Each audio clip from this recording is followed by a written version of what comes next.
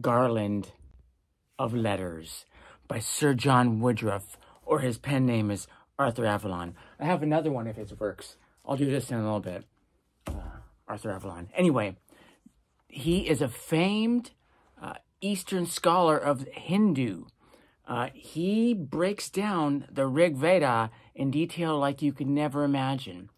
This gentleman was the first scholar to bring from the East to the West the Rig Vedas in its unadulterated form. Quick, quick one.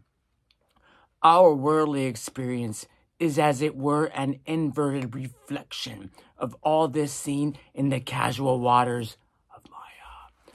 Oh my goodness. What is, what? Everything we see is an inverted reflection?